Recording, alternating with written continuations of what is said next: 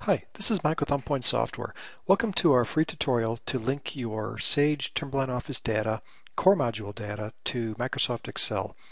Uh, today we're going to look at linking your live data to an Excel spreadsheet. Now the term link, that's very important. Uh, at first we're going to pull your data into Excel and then link means if your Timberline data changes, which of course it does, uh, you'll be able to go back into Excel and refresh it so that you're always pulling the most current uh, version of your data. Uh, again, today this is going to cover the core modules. Uh, and we're going to cover the basic steps at first. Uh, at the end of this thing, we're going to talk about some tips and tricks and talk about where to go to get more information.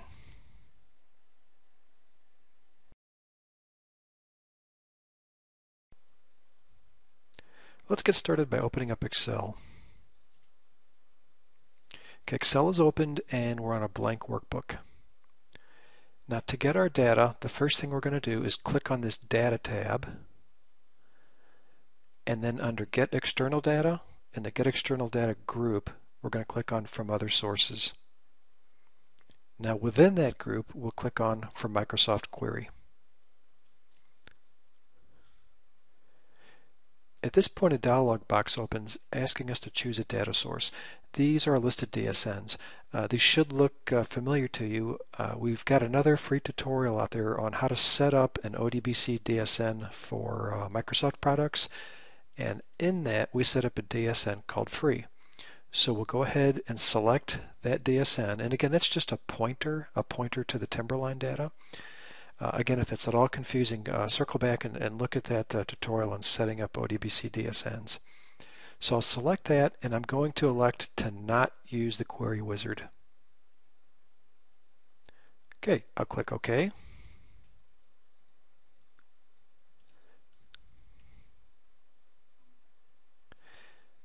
And I am asked to log into Timberline.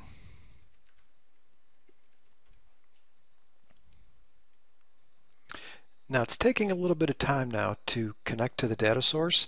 Uh, what's happening here is this query is is there's traffic going through that DSN, that pointer to our Timberline data. Timberline data is is answering that query and it's returning uh, the list of tables to our view. Okay, now on my list of tables, I am going to grab my AP vendor table, for instance. Let's say we want a list of vendors. So I'll go down to APM Master Vendor. I'll click that to highlight it, and I'll click Add. Now this is the only table that I want to grab, so I'll go ahead and click Close at this point. Now I'll pull this Microsoft Query view back in, and we can say this is a query from free. Free is the DSN. It's a query from the pointer to the Timberline data. And this is our vendor table and the different fields that are on that table. Now the first field I want to grab into my query will be the vendor ID. So I'll go ahead and highlight anywhere in the vendor table and I'm going to type a V for vendor. The best fit pulls me down to the vendor ID. I double click and we see it hit my query. Then I'll click back up in the table and I'll click an N for name. And you see I get the vendor names. Now that's not too bad, is it?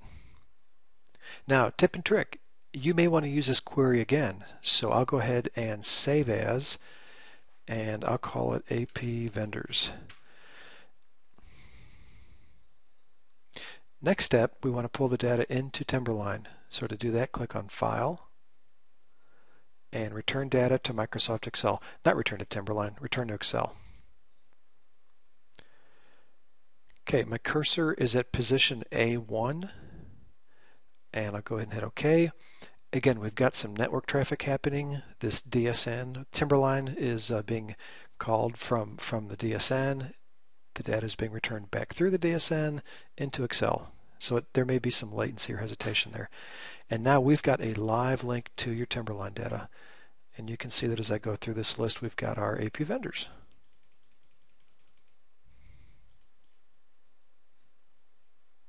If you want to refresh, let's say that uh, you've closed this uh, worksheet and you've changed your vendor list and you want to go back in and get a, a revised list, you simply go to Data and refresh all. When you click that, Excel will go back to the DSN, get a new picture of the data, and bring it right back in. So you'll get a current uh, snapshot of your data at that point in time.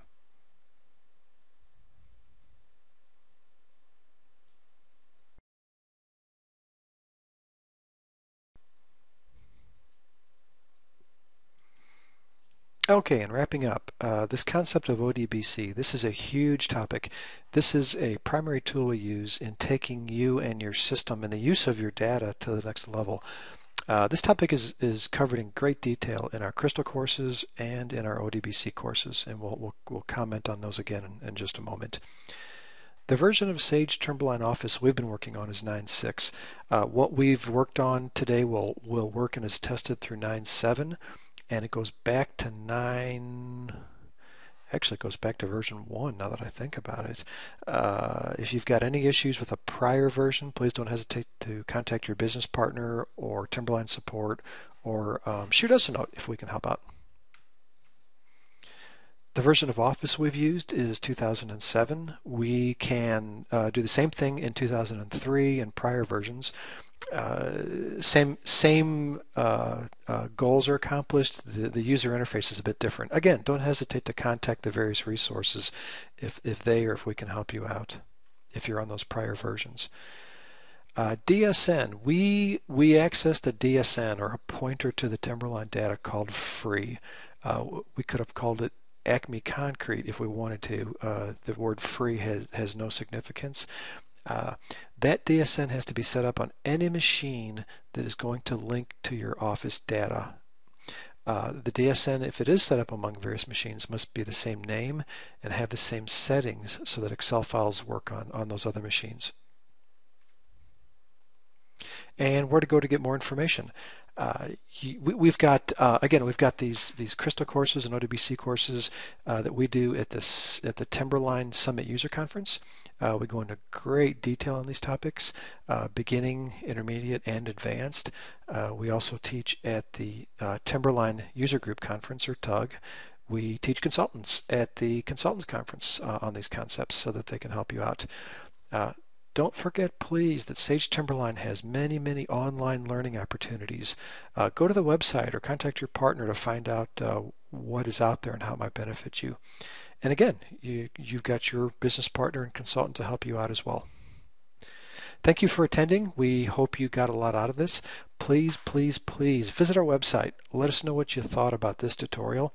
Uh, we pay very close attention to your feedback. We are constantly striving to improve the quality of what we provide so that you can get the most out of your investment in your software. Thank you and have a great day.